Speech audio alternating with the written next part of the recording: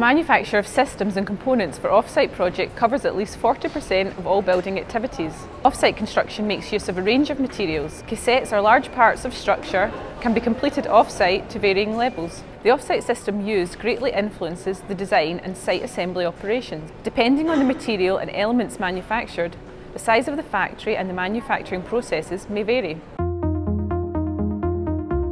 The manufacturing process will differ based on the materials and the type of system chosen.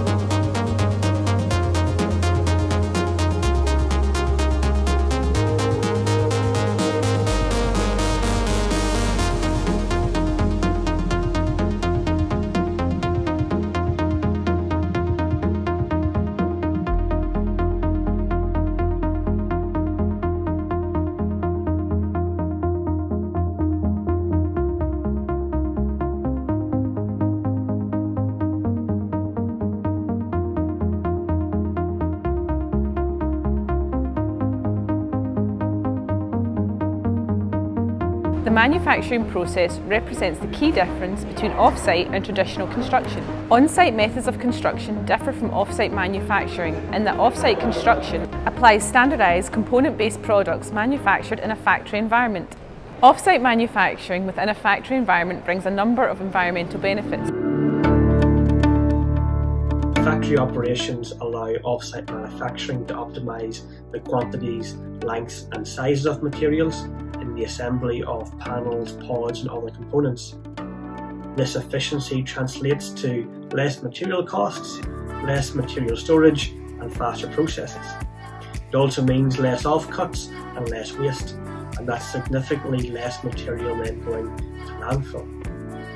And in the case of processes involving unavoidable timber waste, these could be used to as fuel for the factory's biomass or wood burning heating systems. Offsite manufacturing is an innovative method of construction. As such, the fundamental principles of sustainability can more easily be integrated into our workflows.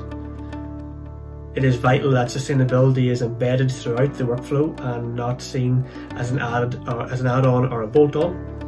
When fully considered and embedded, you will see that sustainability works to strengthen the advantages of offsite construction, design, manufacturing, logistics and assembly. Just as offsite construction seeks to enhance the construction process through optimization, so too does sustainability. So let's look at a few examples starting with digital skills applying design of services. Mechanical, electrical and plumbing elements are integral to the levels of energy consumed and carbon dioxide emitted from our buildings during their operational life. As such, we are seeing higher demand from public and private sectors to lower energy demand and CO2 levels from our buildings.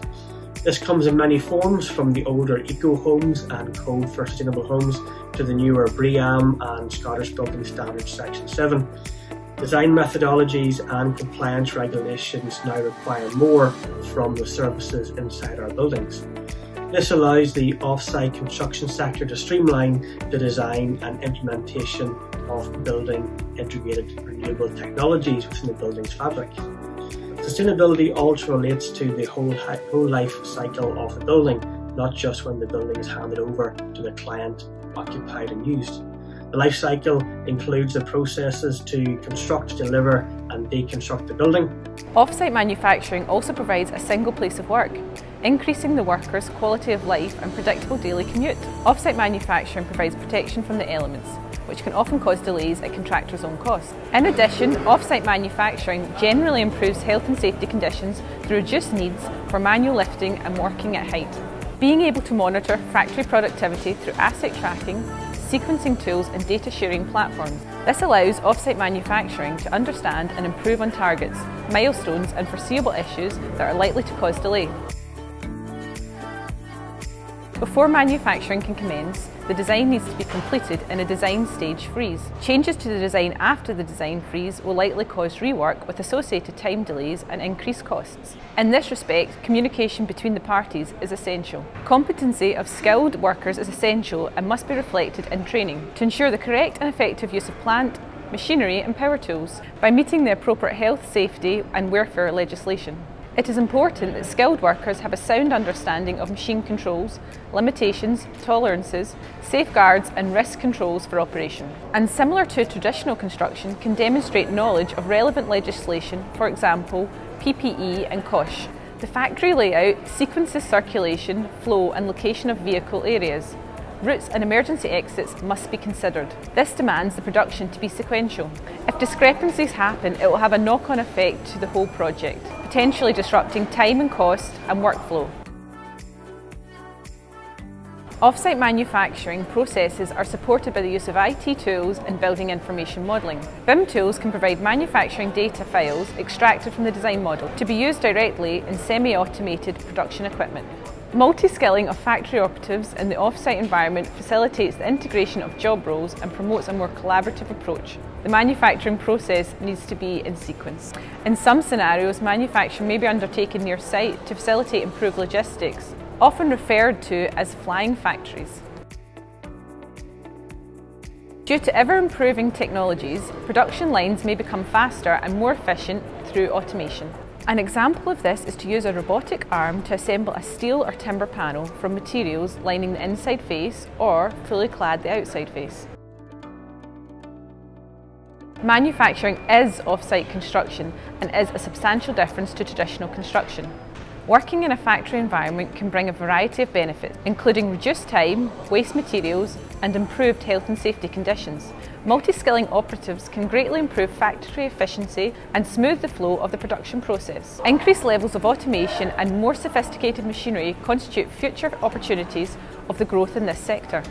Congratulations, you're now off-site ready with knowledge for change in off-site manufacturing.